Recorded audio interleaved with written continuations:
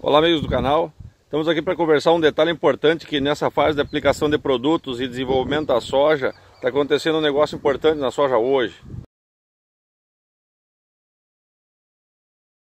E muitos pontos relacionados com esses fatores são a questão basicamente da fitotoxicidade, né?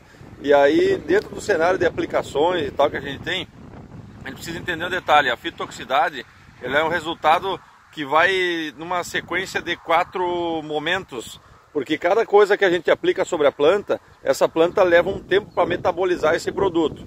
E aí ela pode passar por quatro etapas.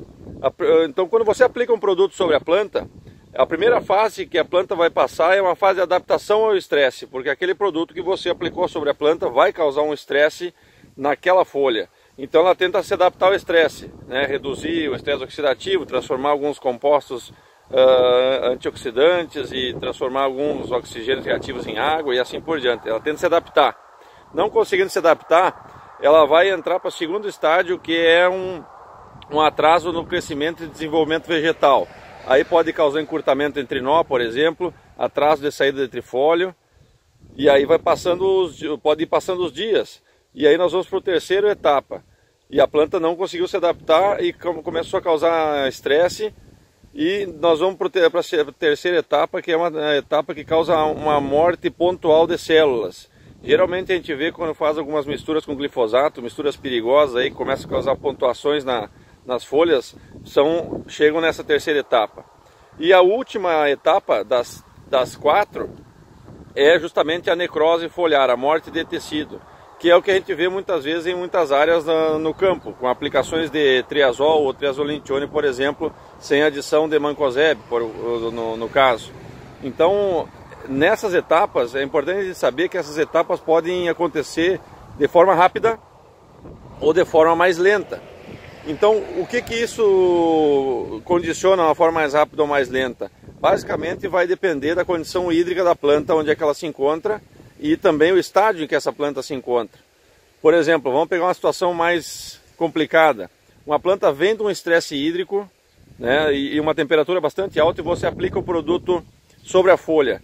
A planta vai passar por esses quatro pontos muito rapidamente, porque o estresse vai ser muito violento, e em dois dias o senhor vai ver essa morte de célula, essa necrose na folha. Então esse é o mais comum. E o segundo ponto que a gente vem observando hoje também é o seguinte: a planta não vem em estresse hídrico, vem chovendo gradualmente, mas não é aquela chuva espontânea sobrando, mas vem chovendo gradualmente. Porém, parou de chover e começou um, uma situação de estresse. Ainda não é dano danosa para a planta. E essa situação de estresse vai uh, levar, associado com a temperatura, a um processo de aceleração dessas três fases. Então você aplica o fungicida na planta e vai passando um dia, dois dias, três dias e a planta vai passando por esse estágio. Se adapta ao estresse, não consegue, começa a prejudicar o crescimento e desenvolvimento, começa a dar morte programada de algumas células depois da necrose. Essa necrose pode acontecer até 7 a 10 dias depois da sua aplicação.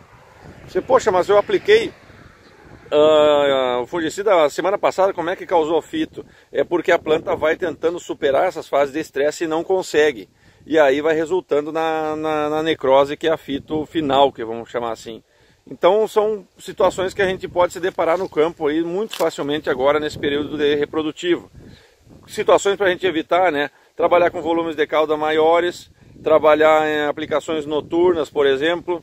Uh, associação com o mancozeb é uma, uma, uma excelente possibilidade e evitar misturas de tanque que possam macular um pouco a questão da eficiência do produto. Mas a questão da, do efeito em produtividade, isso é bastante relativo, porque a fitotoxicidade ela é cumulativa. O problema é você dar uma fitotoxicidade, depois dar uma outra fitotoxicidade, dar uma outra fitotoxicidade, e aí o impacto vai ser muito forte. Se você tiver poucas necroses uh, no início do enchimento de grão ou no, no início da flor, a, a chance de, de, de, da planta recuperar ela é maior. Logicamente que plantas com ciclo mais curto é mais difícil dela recuperar esse estresse. Mas, no geral, em estresses pontuais, a gente não tem uma queda significativa na produtividade. Porém, se as coisas complicarem, a gente pode ter um efeito direto. É isso aí. Gostou? Deixa um like aí, deixa um joinha, comenta no, no canal aí e vamos conversando. Feito, um abraço, tchau.